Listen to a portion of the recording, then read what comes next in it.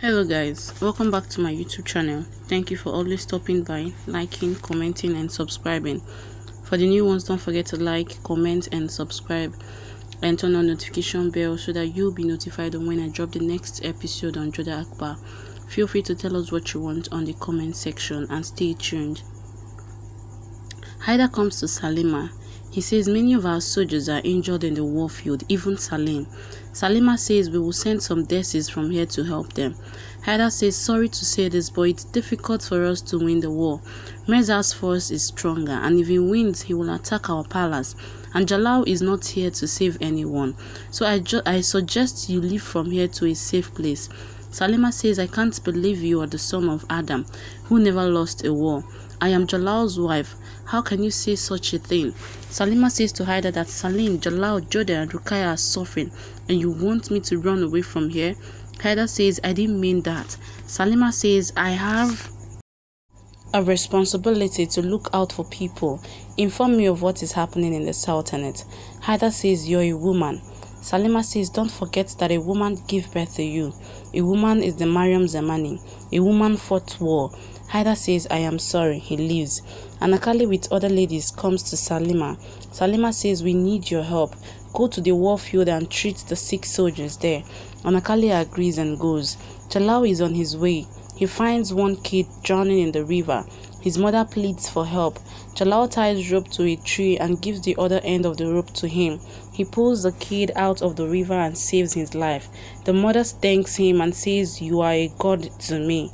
Jalal says, No. I am not God.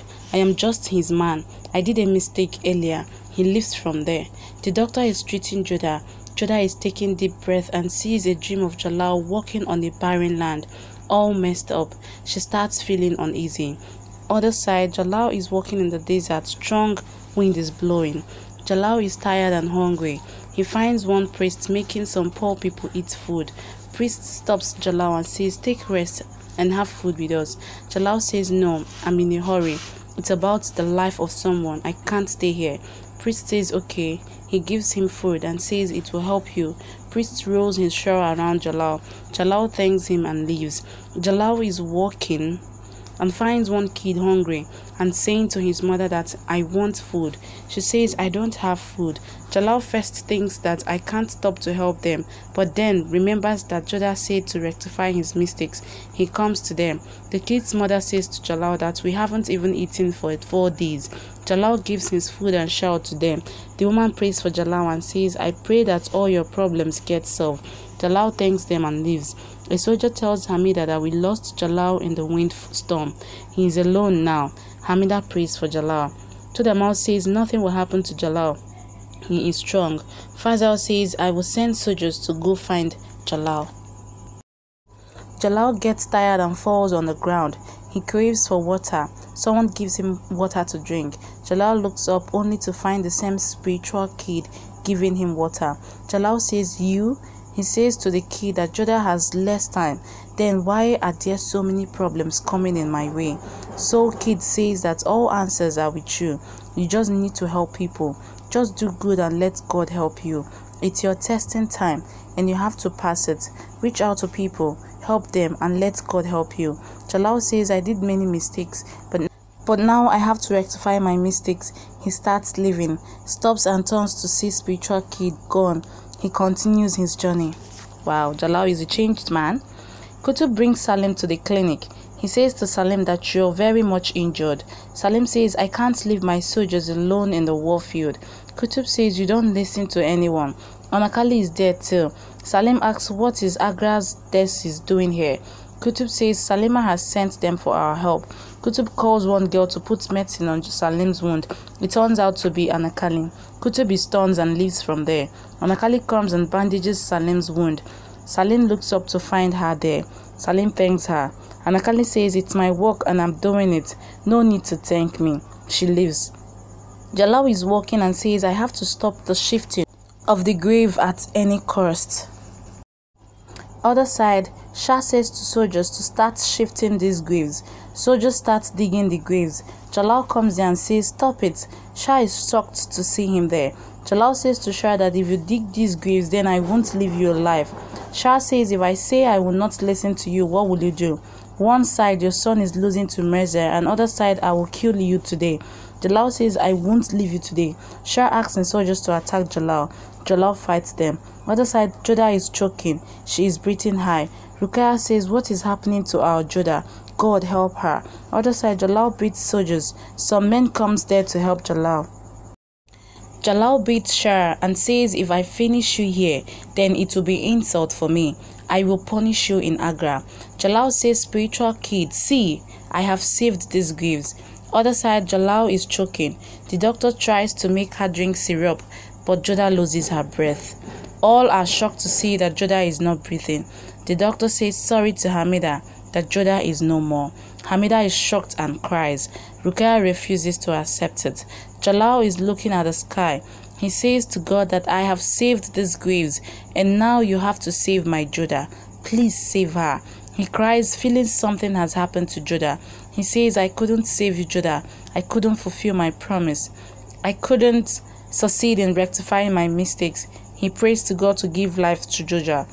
Soul Talks. Jalal also says that I promised you, Jodha, that I will be with you in life and after death. Jodha's soul says that many years must have passed, many lovers must have come to this life, but nobody loved like us.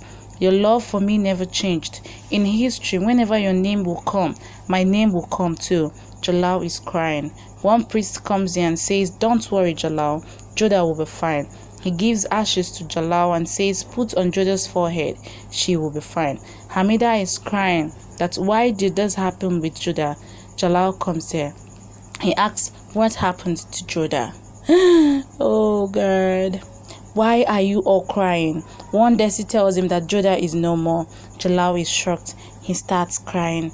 He recalls how Jodha asked him if he remembers the seven promises which they took during the marriage. Jalal says, How can I forget? He says, I won't be able to fulfill one promise. It was that you will face death if it comes to me, but I won't allow you to go before me. Jodha says it is respectful for wife to leave the world before husband. Jalal says it's my promise. I won't let you go before me. I want to see you in front of me till my death. Jodha says, I trust you will fulfill all your promises. Flashback ends. Jalal is in shock. He goes to Jodha's room. He shouts, Jodha!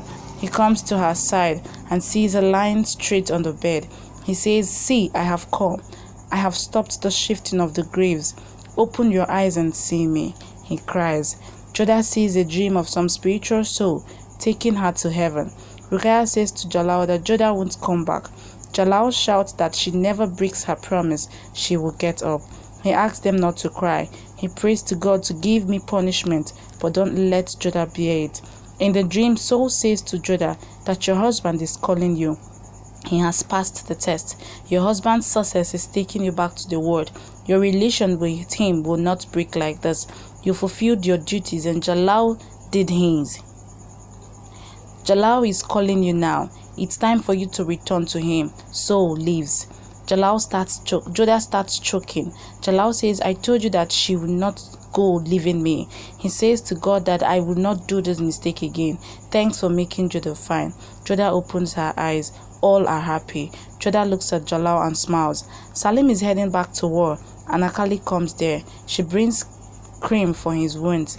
He says, I don't need it. I am going for war. My soldiers are dying. I can't stay here.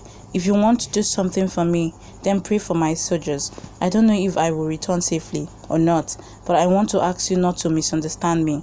I agree that I never liked you, but I never meant to hurt you, and my love for you was real. Anarkali is shocked. He leaves. Anarkali prays for the soldiers. Jalal enters Jodha's room. He asks, How are you? She says, I am fine now. Jalal says, Don't do this again with me. Jodha says, I told you that I would never leave you. Jalal smiles. Jodha asks, What about the fort? Jalal says, I will not make fort again. I have given land back to the villagers. Desi brings kada for Jodha. Jalal says, I will make her drink it. He makes her drink it. Jodha says, I can't drink more. Hamida says, One more sip for me. Jodha says, You too. She drinks it. Rukaya says, Now drink the whole bottle. Remember how many kadas you made me drink. Jalal makes her drink it. Rukaya and Hamida leaves for Jodha to rest. Jalal says, I will come too. She stops him and says, Do you think that I will haunt you as a ghost? Jalal says, I was worried that you irritate me whole life while alive. What will you do with me as a ghost? Jodha says, You. Jalal says, Just joking. Jodha smiles. Jalal asks her to rest. He leaves. Salim comes to the war field again and starts fighting. Man comes there with his force. He says, I will not leave any enemy alive. Mirza says, You're not a loyal person. Man says, I was always loyal to Jalal and will always be. He fights with Mirza. All Mughal men surround Mirza. Salim says, There is no room left for you to run. Now you will see the power of the Mughals. See how many soldiers that you got killed that got killed because of you. Now surrender to me. Murad is about to kill him, but Salim stops him and says, We can't forget that he's our relative. Mirza says, Why did you stop? Kill me like Jalal killed my mother, Mahachukchak. Bagwan says, You're mistaken. Jalal is not like that. Salim says, You must have lost the war, but we will not forget humanity. We will not kill you. He asks soldiers to arrest him and make sure he doesn't have any problem in jail. Soldier takes him away. Shah is brought in court. Jalal says, I will make I will make him I will give him punishment in Agra. Shah asks him to have mercy. Jalal ignores him. He says to the ministers that from now on we will have open court section to help and understand the problems of common man. Jalal and Jodha sit in the garden. She places her head on his shoulder. She says, You know what voice I like the most? He says, Tansen's voice. She says, No, I love your heart's voice. It gives me peace. Jalal smiles. She says, You saved me this time too. Jalal says, It was you who saved me. Jalal says to Jodha that I thank you for making me realize my mistakes. Jodha smiles and says we should go back to Agra. Jalal says, Get better, then we will leave. Hamida sees them together and thank God that they look great together. It's a blessing that seeing them together. Jalal is shown to be helping Jodha eat. They make each other eat food. Bagwan asks Salim, What will you do to Mirza? Salim says he is Jalal's brother. We will take him to Agra with respect, and Jalal would decide his fate. One Desi says to Anarkali that Salim is a very nice guy. He could have killed Mirza but didn't do it. He has a soft heart. Anarkali thinks why he changes every moment. They get a letter informing Salim that Jodha is out of danger. Salim is happy and thanks everyone, including Desis, for helping during the war. He says we will leave for Agra. Tudamal tells Jalal that now situation is under control in the Sultanate. Jalal gets letter that Salim won the war. Jalal smiles. Tudamal says it seems like happiness is back in the Sultanate. Jalal says, for sure. Okay guys, thank you for watching today's episode on Jodha Akbar. Don't forget to like, comment and subscribe. And stay tuned for more updates. Bye.